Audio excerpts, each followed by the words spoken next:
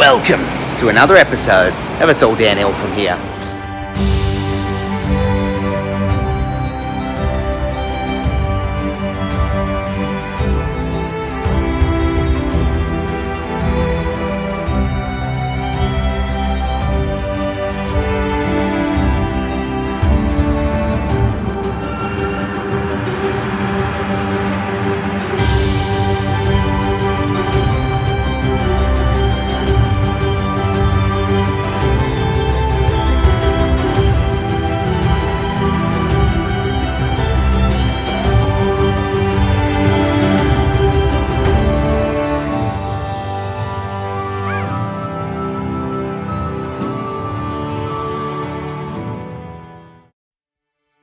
Welcome. I won't lie, I'm so excited for this one. It has been years since the start of COVID, since I've been overseas to travel. This episode, I'm going to give you a brief overlook on whether or not Hong Kong is worth visiting. Bring on Hong Kong. wow. The flight over with Qantas was smooth. I won't bother talking about distance because you know, you watching will all be coming from different countries and places, and I was leaving from Melbourne. Took around nine hours.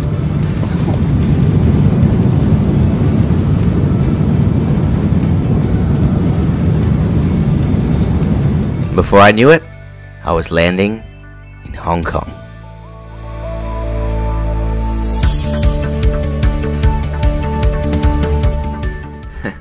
Those moments when you get to a new airport in a new country and you have no idea what's going on with the food selection.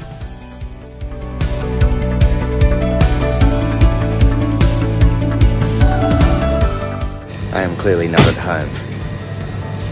trying to pick a snack and they're all strange to me. The great news is the Hong Kong airport is well signed. There's a bus terminal taxis, and a train that goes into the city, I do recommend the bus. It is very cheap. Handy to have a local with me because I have no idea where I'm going here. we were headed to Tseung Kwan O, and the bus cost us 44 Hong Kong dollars, which translates to roughly $8 Australian.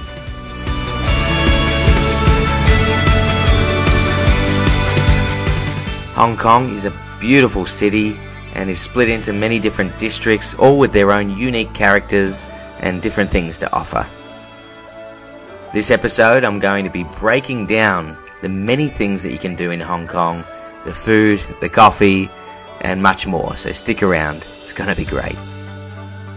The early stages of February was a great time to visit Hong Kong because all the preparations were happening for the Chinese New Year. And the decorations and those red lanterns up were just a gorgeous sight to behold. The first thing we're going to have a look at are the gardens here in Hong Kong. If you're looking for something low key and just a stunning walk, then look no further than the Hong Kong Gardens. So peaceful, actually quite quiet, and really gave a feeling of zen walking through them.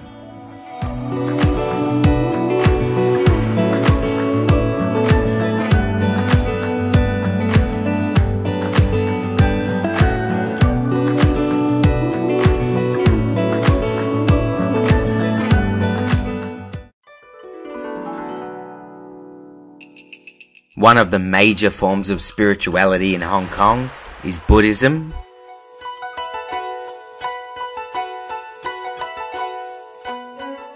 I'll cover a lot more information when I cover the temples in a full episode. I have to say, there is just some incredible peaceful feeling when you walk through these temples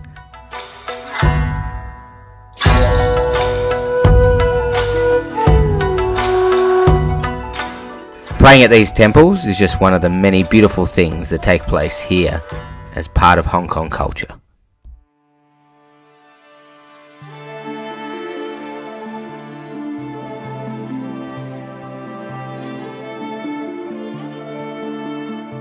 Plain and simply, you just can't go to Hong Kong without seeing the Tian Tan Buddha and the Po Lin Monastery. It's an incredibly spiritual and sacred place for all the residents that reside here.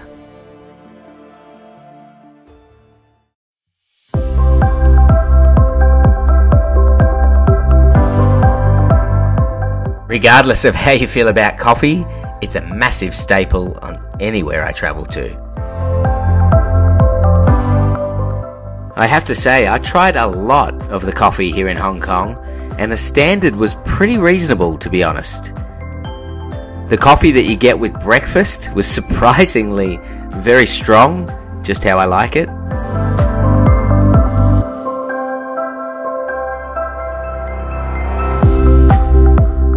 If you're curious about following the great ones that I found, check out the episode related just to the coffee in Hong Kong.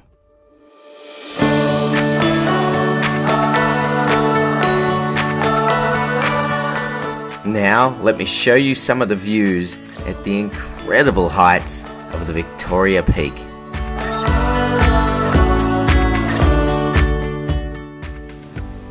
You can either walk up, which would be quite a task, or catch the Victoria Peak tram.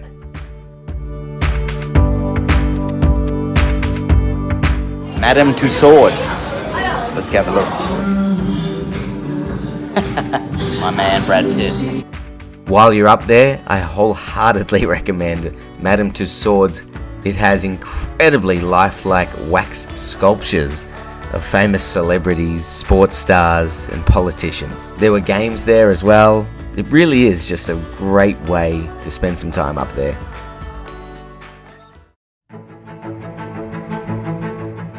Those that have followed my channel for a while know that I love to hike, so I thought I would go out check out some of the incredible hikes on offer in Hong Kong. All of the top tourist activities to do in Hong Kong have the Dragon's Breath walk in it, and why wouldn't it? it's not overly hard, and have a look at those views. Fans of hiking are literally spoiled for choice in Hong Kong. There are literally hundreds of hikes to choose from. So, get those hiking boots packed. Definitely got to mind the tides here because uh, catches you off, you're swimming back. yeah, I'm not always full of great decisions, but lucky I just beat the tide back. Totally worth it for the walk though. This was on Sharp Island. And what about a bit of nighttime fun? well, the AIA Carnival was definitely a surprise hit. We were quite lucky, and when we rode the Ferris wheel, we were able to get a free ticket inside the AIA Carnival, but usually there is an entry cost. Another thing making a lot of lists of things you must see in Hong Kong were the Symphony of Lights. I've got to be real with you, the Symphony of Lights fell a little bit short, but it is definitely worth checking out to kind of say you've seen it. now for the first of three theme parks I went to. This one is the Hong Kong Water Park. Perfect for those that want to get underwater, escape the sun, and just cool off a bit.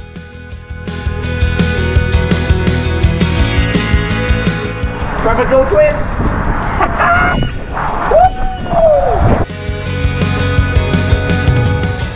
There's a heap of different water slides to go on, all different from the last and very adventurous. I very highly recommend this. Because I was there in the winter though, the outdoors section of Water Park was actually closed. So I must have had limited options compared to when in the summer. The payoff though were that the fantastic things that were open had almost no queues. Then there was Ocean Park, which is actually gigantic and offers a great education on animals and sea life and is so big that you have to take a cable car to get to the other side, which offers incredible views by the way, and then also has some great rides and things to do over there.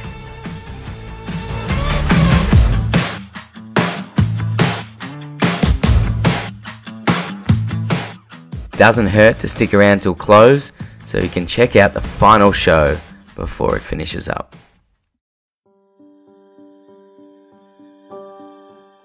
And then we have the happiest place on earth.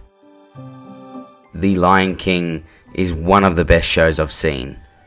Just period. And it brought me to tears because I really felt like a child again. And that's the beauty of Disneyland. It makes you feel that.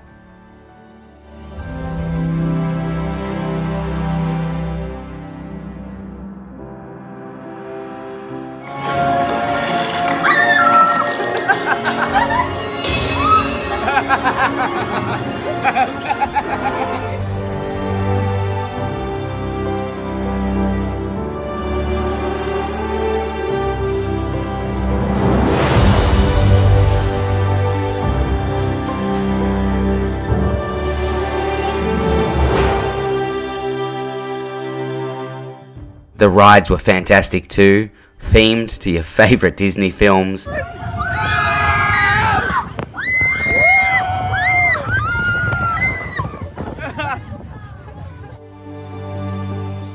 The little stories they tell inside their rides are brilliant.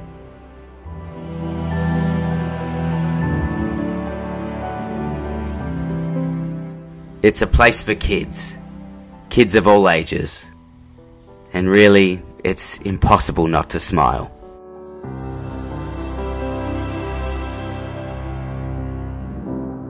Whether you're exploring Tarzan's treehouse,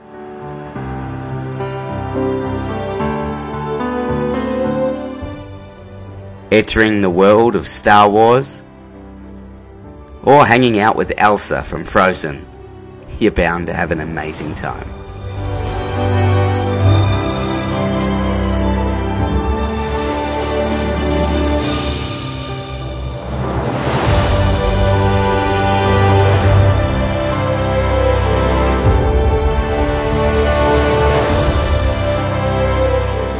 And that final show before Disneyland closes, I, I'm just speechless.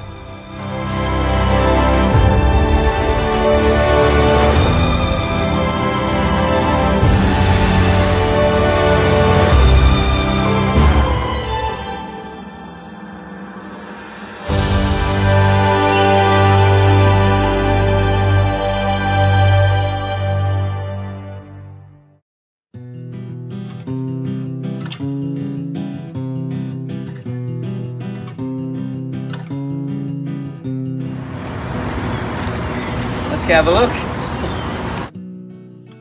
History lovers will find plenty of museums to check out here in Hong Kong.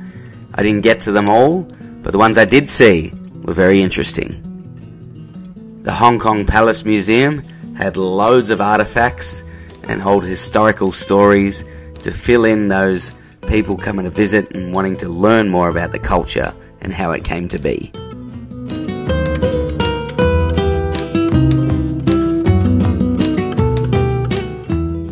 The pick of the bunch, in my opinion, was definitely the old Hong Kong jail.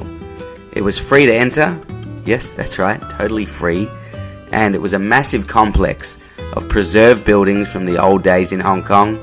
There's plenty of interesting stories about the conditions and the way things were, and there's a courtroom and plenty of shows for you to check out, as well as an art gallery that's actually almost as good as the paid ones.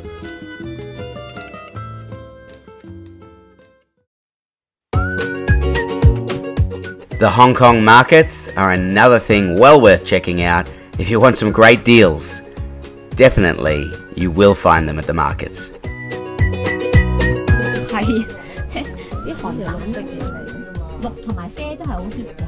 诶，你知唔知呢个啡咧，衬你头先嗰条嗰条浅行好靓啊，好靓啊！ It certainly helps to have a Cantonese speaker with you. But if you are a tourist, you'll do fine as long as you know some of the general bargaining rules in Asian countries.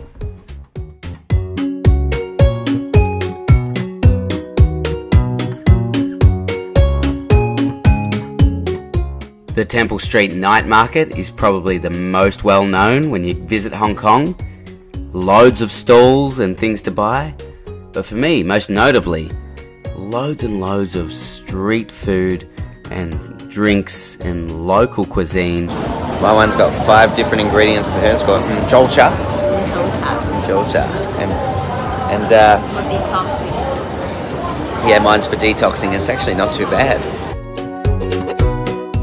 I've always been a fan of going to international markets and seeing what they have on offer, not to mention trying the fresh street food. So if that is your thing, definitely check it out.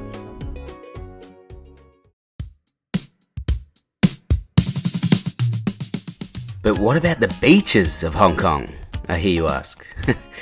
well, you certainly don't hear too much about beach in Hong Kong.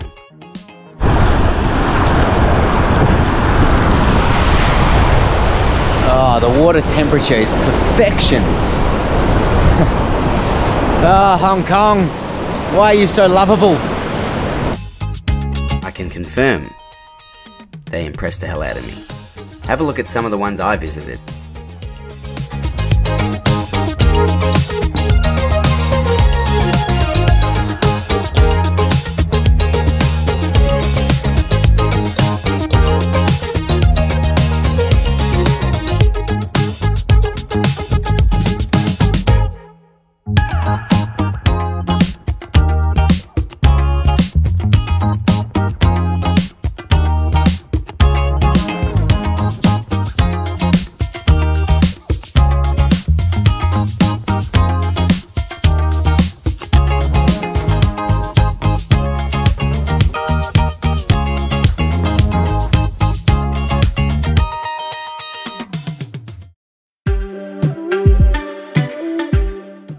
What about when the weather's lousy in Hong Kong? What then? well, there are plenty of activities indoor to keep you entertained until the sun comes back out. Whether that's ice skating at Mega Ice, doing some VR, which is always fun,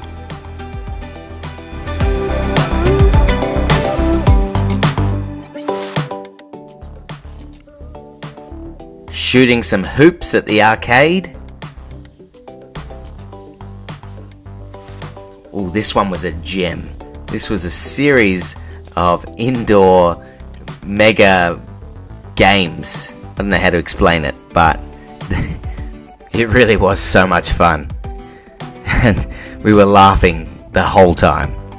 Definitely could take the whole family there, your partner, whoever. I think it's fun for all ages.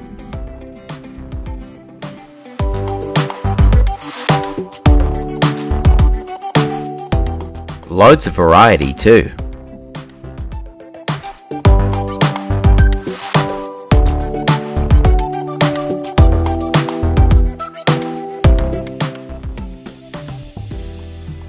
Then there was Rise, the indoor trampoline center. Loads of trampolines. And believe me, you can jump so high. Not to mention an obstacle course and loads of those foam pits to dive into and struggle your way out of.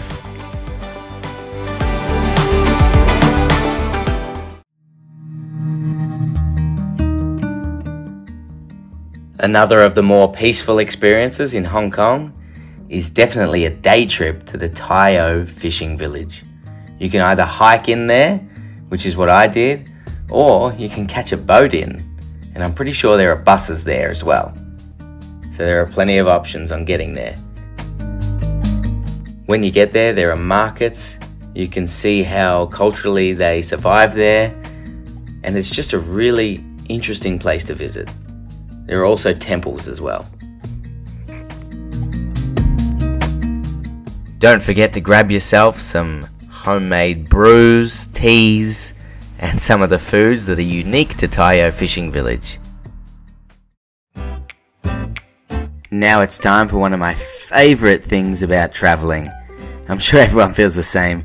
Whenever you go to a new country, it's great to get lost in the different types of foods they have, the different drinks, and just enjoy them, knowing that you're going home to something completely different.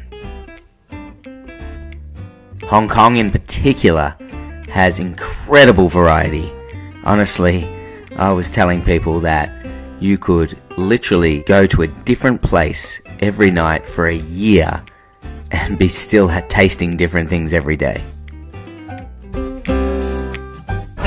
garbage juice. That's the best I can do. smells like garbage juice. Tastes delicious. Mm.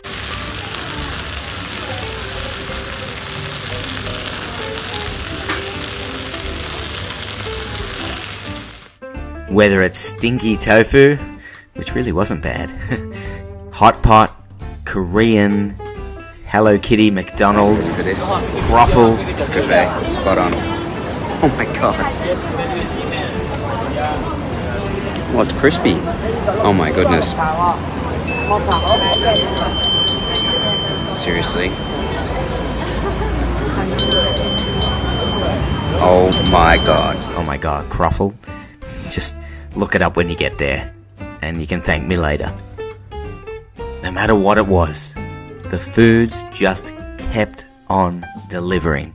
Again and again and again.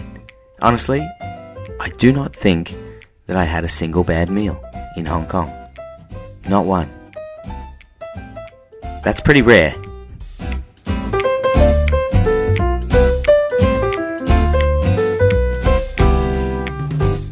I mean, have a look at this variety and the quality. I'm going to go into a lot of detail in a separate episode with all the foods, but for now, take it from me. The food is absolutely top notch.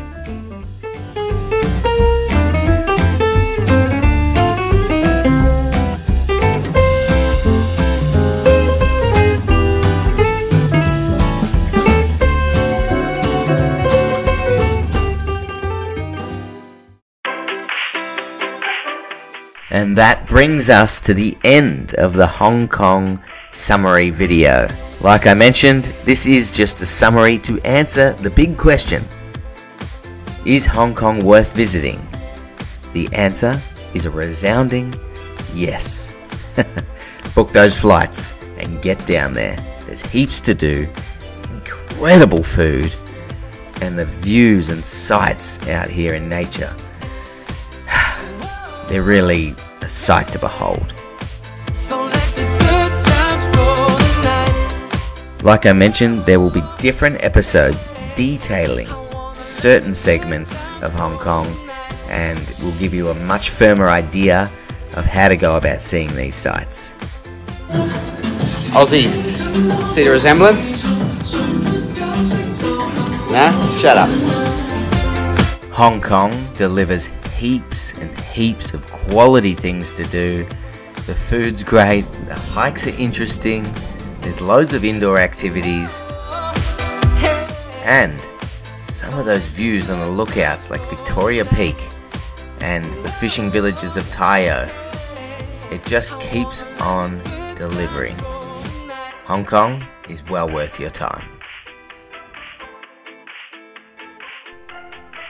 I hope you enjoyed the episode, and if you do visit Hong Kong, make sure you comment below and let me know how your experience there was as well.